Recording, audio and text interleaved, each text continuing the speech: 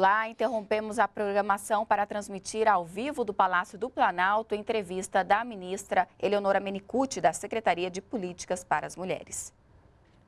E da Central 180 de atendimento de denúncias é, com poder judiciário, a Defensoria Pública e o sistema de segurança pública num espaço físico único.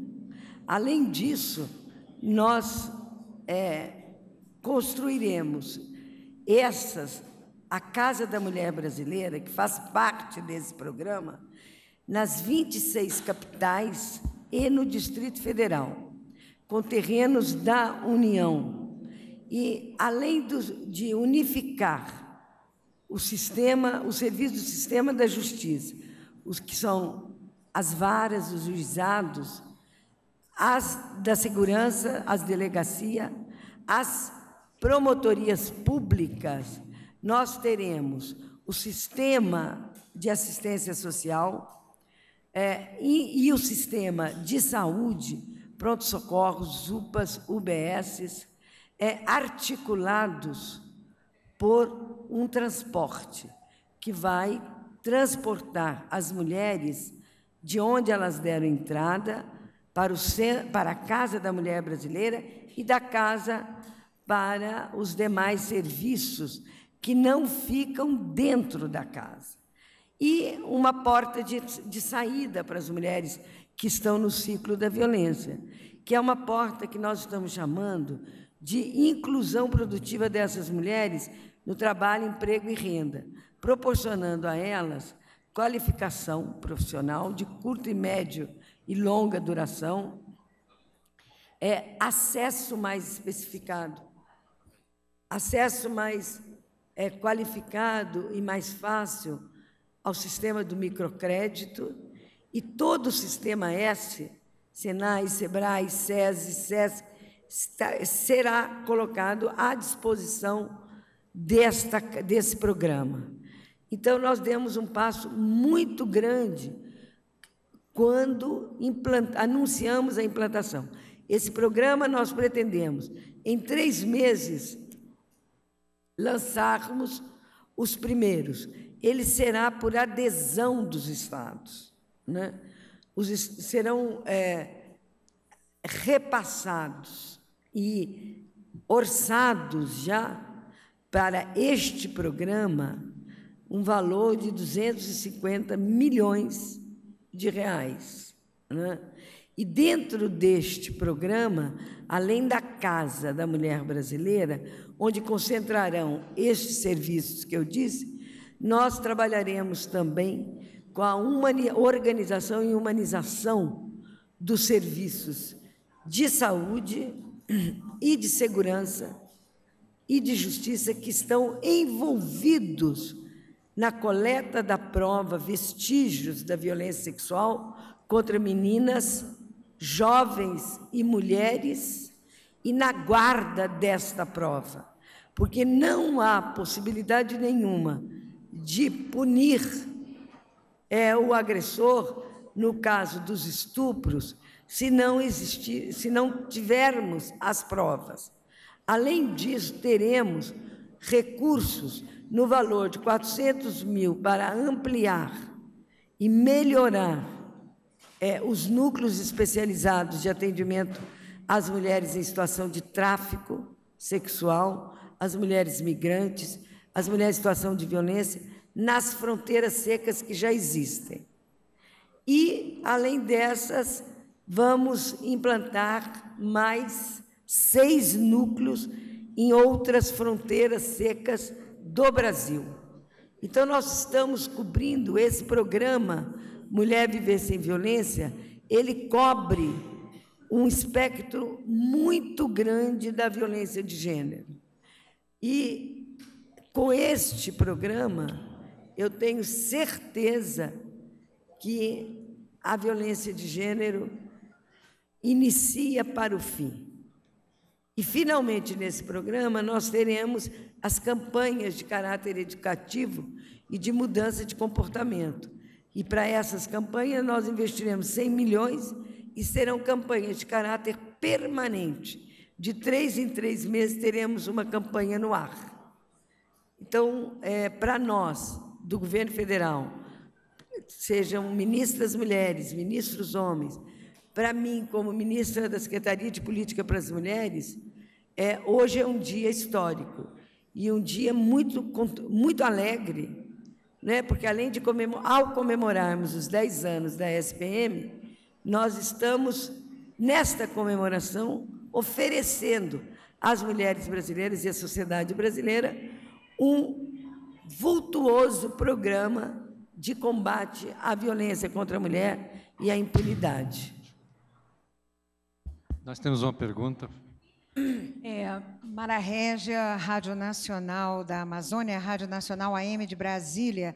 No discurso de lançamento do programa Mulher Sem Violência, a presidenta Dilma que a, disse que a Casa da Mulher Brasileira é uma casa de abrigo, apoio, mas é também uma casa de luta. De que forma isso se traduz, essa luta? Ela, de abrigo, porque nós abrigaremos as mulheres em todos os seus níveis, até com alojamento é, transitório para elas, que, para as mulheres que precisarem, com brinquedoteca para as crianças que acompanharem as mulheres é, é, quando elas entrarem na casa em busca dos serviços. Não é? de apoio, oferecendo todos esses serviços que eu acabei de enumerar. E de luta, porque ela, Mara Regia, ela é o símbolo do governo brasileiro contra, para enfrentamento a, a, contra a violência à mulher. A própria existência dela é o símbolo da, da luta pelo enfrentamento à violência contra as mulheres. E é, é de luta também porque esse símbolo está dizendo: nós respeitamos as mulheres, nós não queremos qualquer coisa, nós queremos uma casa bonita, arejada, limpa, é, com acolhimento, conforto, qualidade e todos os recursos disponíveis para as mulheres é, que, for, que acessarem a casa. É de luta por isso. Mara Kenup, da TVNBR e da Voz do Brasil. Queria que a senhora falasse sobre a, a, o número de delegacias especializadas em todo o país e a questão também para desenvolver esse trabalho das parcerias, que são fundamentais com os governos estaduais e municipais e também com outros órgãos. Olha, é, o número de delegacias é 583, né? 583 no Brasil todo. Isso é um número mínimo para atender o tamanho de nosso país, do continente. Mas é um número que já, já diz alguma coisa. Né? Já diz alguma coisa porque as mulheres conhecem as delegacias. Né? O que nós queremos agora é equipar a parceria que nós fizemos com o sistema, é, com a procura, promotoria, procuradoria, procuradoria é, pública, com o sistema da justiça e o sistema de segurança, foi para que também eles invistam nos seus equipamentos. Né? Porque as delegacias têm que ter uma equipe profissional, multiprofissional, qualificada e capacitada. Não pode ser uma pessoa só. Né? E capacitada, e é isso que a portaria né, que, nós, que a presidenta assinou é, reflete. Agora, o que, que nós queremos? Nós queremos que as delegacias, como todos os outros equipamentos, venham para dentro desta casa. Sejam alocados no interior dessa casa. Por quê? Para não para que os serviços não percam as mulheres. Porque as mulheres vão na delegacia. A delegacia ela faz o BO. Hoje é assim. Aí ela volta para casa. Aí, com medida protetiva ou sem medida protetiva, normalmente essa mulher se perde, porque para que ela volte, tem transportes, para que ela, ela não tem dinheiro, para que ela vai em busca de um outro serviço de acolhimento é, nos centros de referência, ela tem que gastar um tempo enorme da vida dela. Então, à medida que nós agrupamos e estamos também facilitando o acesso dessas mulheres, sobretudo facilitando o acesso. Então, as delegacias que já existem, as 583, continuam. Mas nós vamos, nós traremos as delegacias para dentro da, da Casa da Mulher Brasileira. Breno.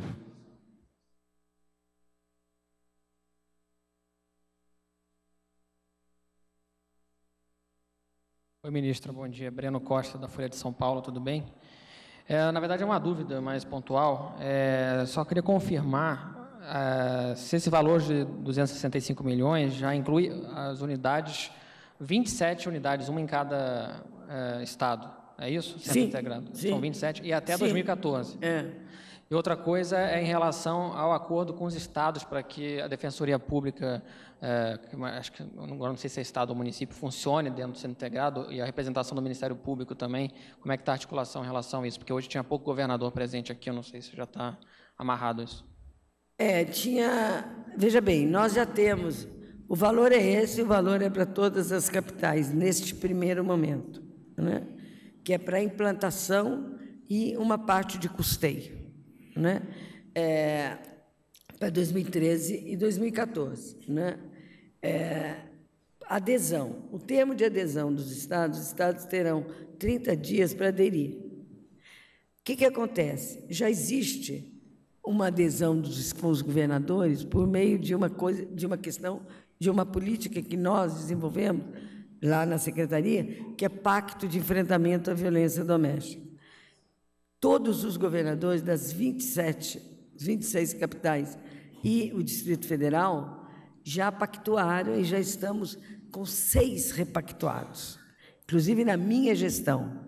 Então, esta adesão ao pacto e que nós já repassamos recursos para eles, para desenvolverem o pacto, é, isso é um caminho já mais de 70% andado.